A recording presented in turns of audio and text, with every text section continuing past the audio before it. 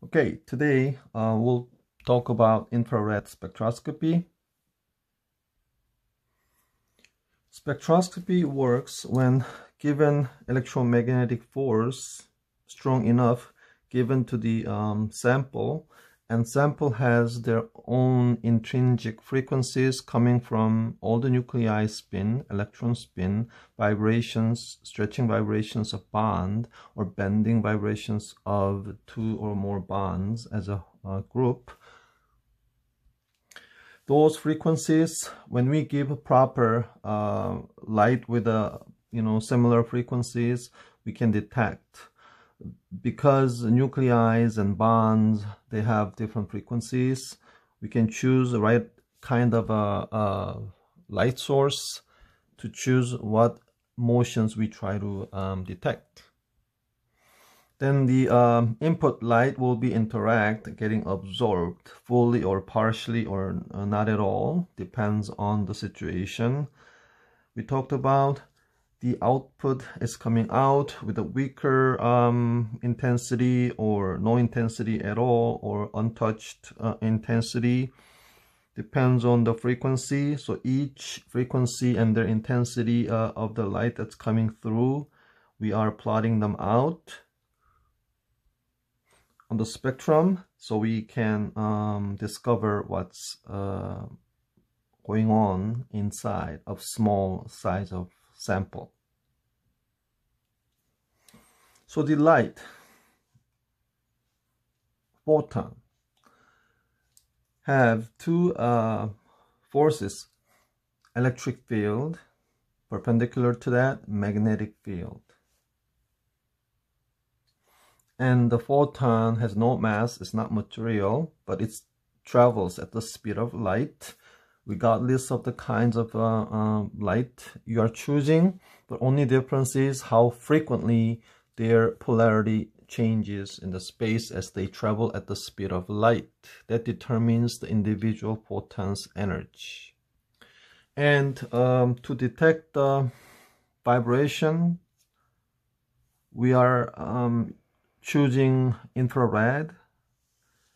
The infrared light has the uh, wavelength uh, somewhat greater than 700 nanometer, somewhat longer, and uh, less than 10,000 nanometer.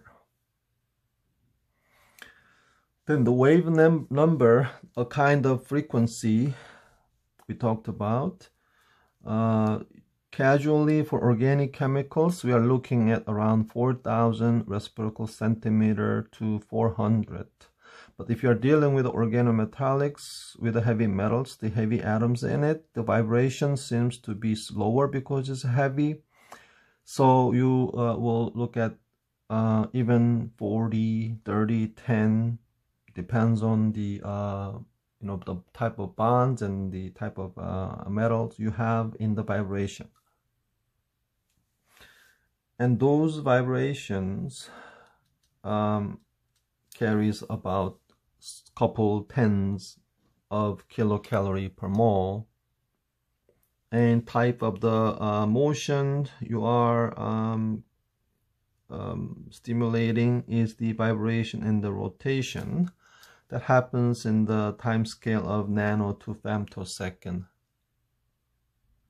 so when the photon is interacting with the uh, matters, of course depends on the frequency, you can um, excite the vibration with the IR range of light and the uh, radio wave of light can change the spin of nuclei and also for UV uh, light you can change the um, states of the electron especially for IR, some bonds are nonpolar, so it is important for you to relate with the polarity and their absorptivity. So when photon go through each bond, it will get uh, pushed or pulled. So a certain amount of the force of the photon, the electric field, will be exerted so the vibration gets more vigorous in the quantum um, world, the uh, certain vibrations are only allowed it.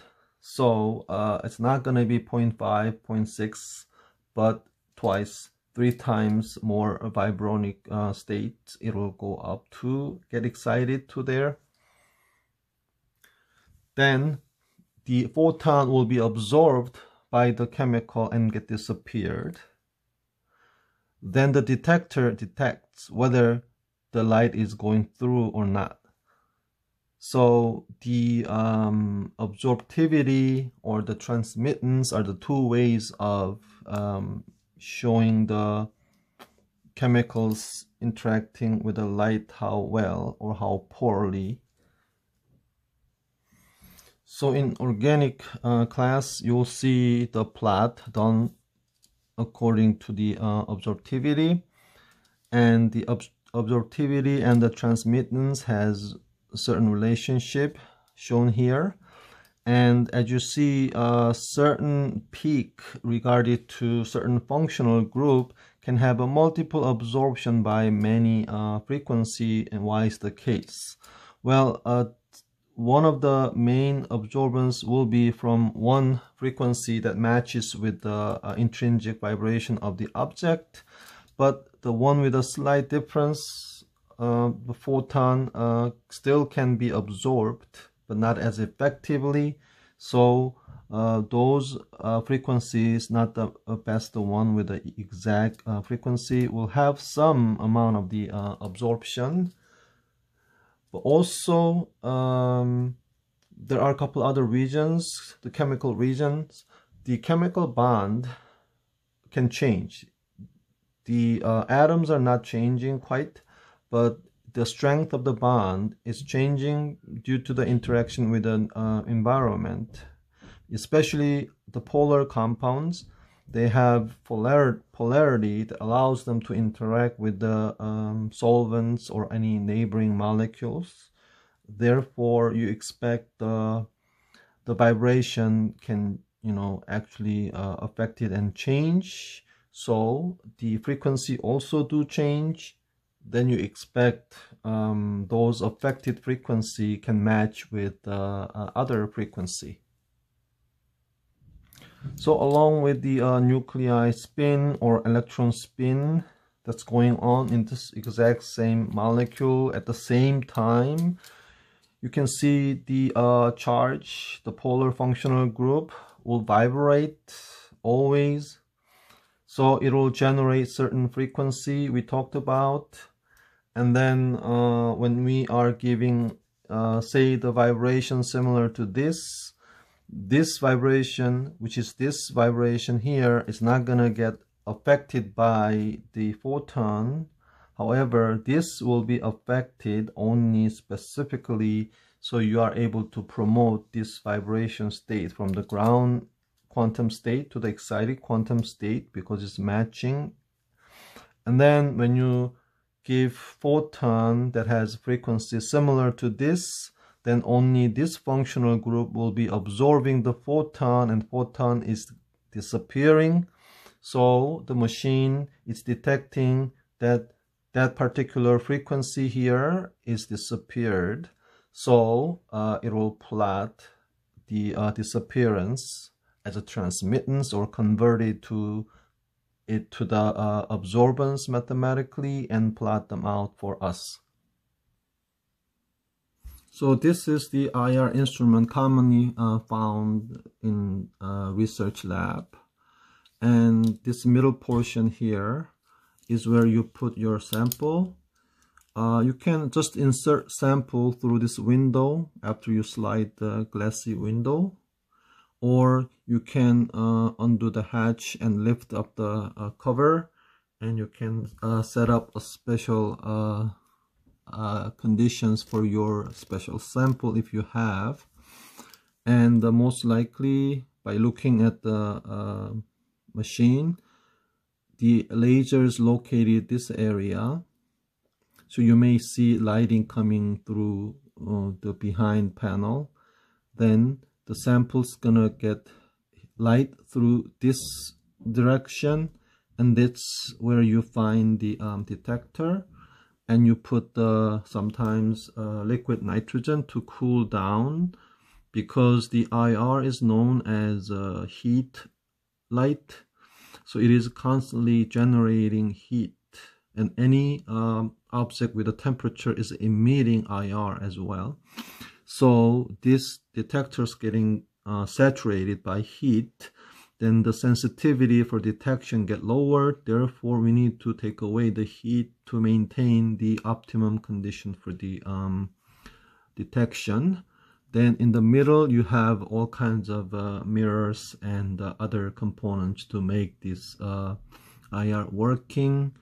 And uh, this in uh, this FT um, Fourier transformation uh, IR has a special moving mirror parts hidden here somewhere then this will this unit will be um, connected to computer to analyze the electric signal uh, you know, uh, proportional to the uh, transmittance. Each photon that's coming out will be converted to the electricity. Okay, now let me show you the um, schematics uh, of the um, IR inside to explain how it works. So here we had IR light source special bulb that generates the um, variety of infrared frequencies that coming out at once. Or these days we are using laser for particular um, purpose. Then you find these sets of mirrors. So and those mirrors have a special angle set to guide the original lights to go to the chamber with the sample in it. So this green box area is the compartment you saw before in the machine. You can open up and put your sample here. And you'll find another place for reference.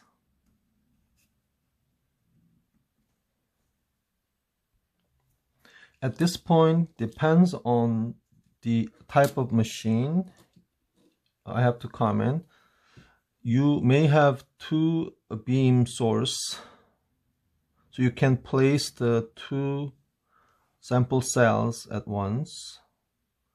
One real sample with the unknown and the other with the uh, other empty cells with the same solvent in it.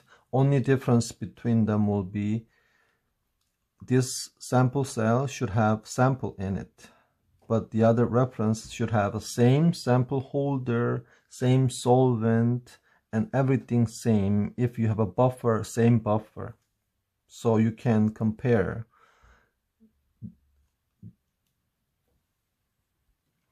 and some labs equipped with the IR machine that has only one beam then um, you have a couple different types as well.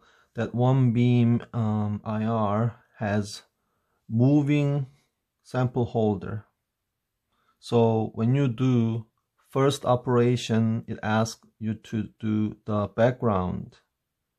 So the motor will take the reference cell to this single beam so the light can go through the reference then the machine will automatically shift and put the sample on the beam assuming there is only a single beam all right so you can get ready for measuring sample. And then there is a somewhat simpler uh, model. You actually have one beam with one sample holder not moving parts uh, included. So you have to first put reference here and then click on the computer to measure uh, absorbance of the uh, reference then you put the sample there again uh, measure the absorbance of the sample then the computer will automatically compare the two and give you the pure absorbance by the unknown compound. Then you find more mirrors that will guide light to the choppers. Then um, these output lights from reference or the sample, it will be different from the input light after interaction with a certain frequency of the uh, physical uh, object. Then they reach the chopper and the chopper is going to allow and machine knows which light is leading to this mirror okay this mirror and the head to the detector. So this chopper allows machine to bring in reference or the sample uh, light. So here in the uh,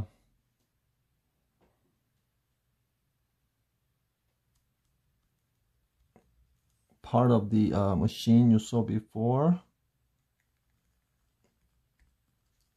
you have detector unit and there you have also a couple mirrors guiding light to reach the um, uh, wavelength selector. So these days you are using laser that has all uh, light frequencies combined in a way and then allow them interact with the sample at once to make the measurement more efficient and uh, uh, faster and uh, also lower the noises. Then from here you can change the angle. You can change the uh, angle of the wavelength selector. And one at a time using those little mirrors very shiny and multiple mirrors you find to allow them interfere each other and intensifying the uh, light signal and so on. And the light is finally able to reach the detector.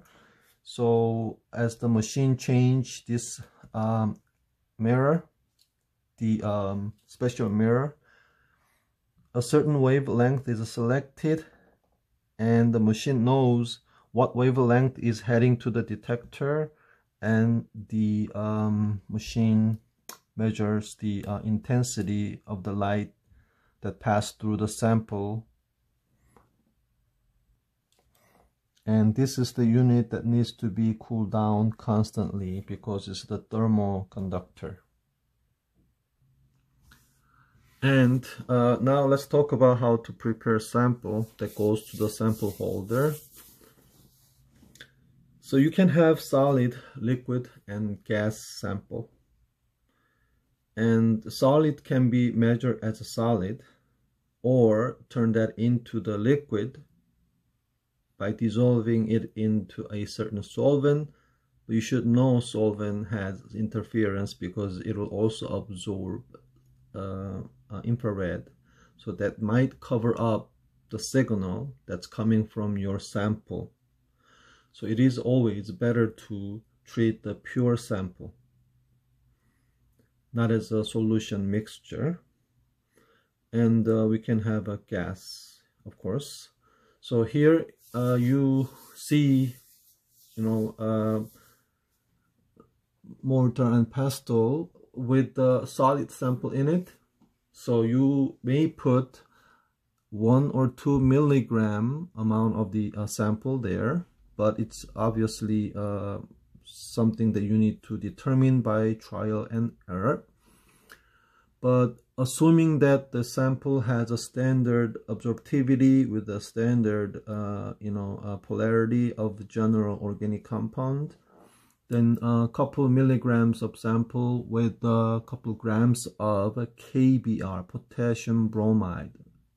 Potassium bromide is very heavy, so they absorb IR for their own vibration, but it's gonna be away from the area where you get the light carbon, oxygen, you know, hydrogen, nitrogen, that kind of area of the IR frequency. So since most of the organic compounds are not uh, clear, transparent crystal, you cannot have the light go through well. So you have to make it transparent. That's why we are doing this. And we grind them up very nicely and mix them up also very nicely. Then you put them into one of these uh, tool here all of these are not one uh, set okay there are a variety of different sets. Depends on the uh, nature of your crystal. The crystal is not gonna get uh, pure uh, clear disk of the KBR with the sample in it. Then you need to use a different set. If something is easy to come up with a transparent uh, sample disks then you can use the simple stuff. The simple thing you can see here you need only use a couple uh, you know nuts and put your sample there and then you can simply twist it twist the nuts and bolts with the regular spanner and it'll work. And some other more difficult case or you have uh, you need to make a bigger disk because concentration is low or the sample doesn't have a strong absorptivity and so on. You can uh, put the sample inside of this uh, uh, metal unit after lifting this uh, inside cylinder metal cylinder and then put that in. Then you pressurize this with the heavy machinery. The machine has place for the assembly of those cylinder and the you know uh, the container of sample. Then you pressurize it. It could be as a simple but some um, disc maker uh, has really huge hydraulic uh, pressing uh, cylinders and it's uh, quite heavy sometimes you can uh, see maybe I hope. And if you're making solid sample in this unit you can use it without taking the clear disk out of it. And in other case after making transparent a little uh, disc you have to put it in a disc holder like this to place it into the sample compartment of the IR instrument. So this is the one sample of disc um, this wouldn't be the uh, one of the best uh, transparency you can get but sometimes you have to live with it so you can try and see. If it doesn't work out you have to use a more heavier uh, unit or uh, go with a lower concentration mixing little less amount of the um, sample with the KBR powder. And the ideal transparency would be something like this. Like this. Um, yeah you can get this very often for the regular sample. But this one you see is the uh, commercially available available clear KBR disk and it has its own usage. Um, so let me explain that. And these are pure KBR disks right? And one two there's uh, there are there are uh, one set. And you can notice that there is, there are two holes. And this also come in in a square rectangular form. And for those as well in a pair you find one perfect and the other with the holes. So this is the assembly that uses the uh, rectangular form of the KBR window one here the other one there. And between them you have a plastic spacer inset okay? So we know the size of it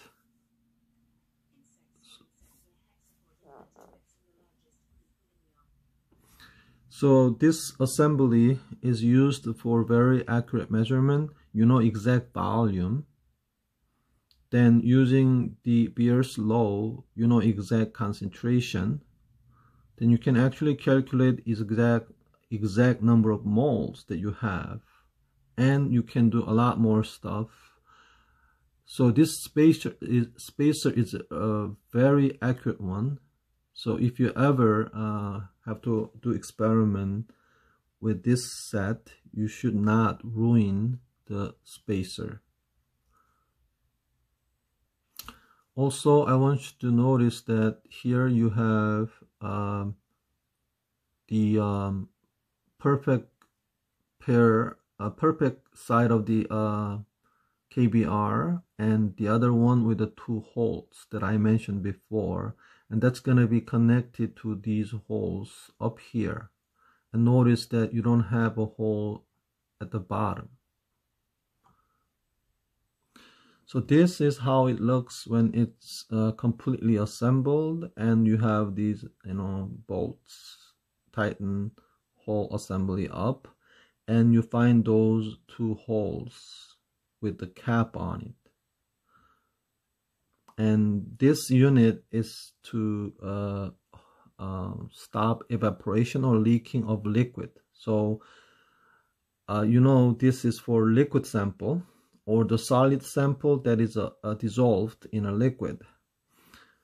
In order to insert the uh, sample enough to fill in the little space you saw before you have to remove the two caps and then using the syringe here you take the sample without bubble. Then put sample through one opening until the sample leaks out the other end through the other end. Then you know you have enough. Before you remove the syringe you have to cap this and carefully remove the syringe not to uh, suck out anything by doing it uh, suddenly then as you put the last cap on also be careful not to have a, a bubble going inside then you're all set. That's when you do uh, you know the uh, measurement that's required for a high precision. However, for a casual uh, measurement, just detecting functional group, you can use these two uh, discs and put couple drops of your liquid sample or the solid sample in a liquid form in a solution. Then just cover up then put it in the um, sample holder in the compartment. All right so um, this one is the sample holder for um, gas. So the light will go through this way.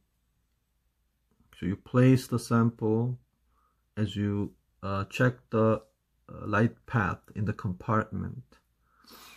Then uh, when you insert the gas using syringe or tank you connect it to one of the two openings and leave the other one open and flush it enough so you can expel all the um, airs and have a pure uh, sample inside. And if you measure out the pressure you know over here you can uh, attach a pressure gauge.